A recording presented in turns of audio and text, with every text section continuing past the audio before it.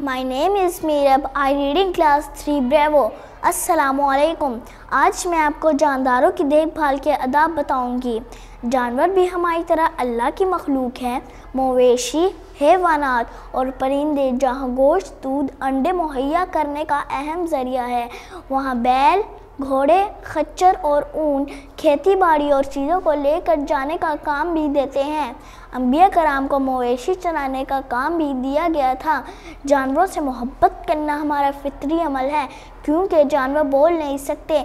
इनकी तकालीफ और हजा समझने की पूरी कोशिश करें। जानवर यानी भैंस, गाय, बकरी वगैरह अक्ल नहीं रखते। सांप और इनको डंडे से मारना गुनाह है। सांप और बिच्छू वगैरह को मारने की इजाज़त है। जान, जानवर जानवर जानवरों को तकलीफ़ देना गुनाह है। जानवर जानी, जानवर, जानवरों से जानवरों से प्यार करना हमारा फितरी अमल है, क्योंकि जानवर बोल नहीं सकते। सांप और बिच्छू को मारने की इजाज़त है। जानवर यानी जानवरों को वक्त व पाबंदी से खाना और पानी देना चाहिए। रहने के लिए मुनासिब जगह का इंतज़ाम करें।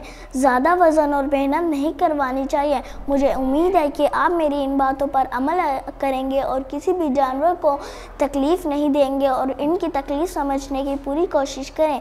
शुक्रिया।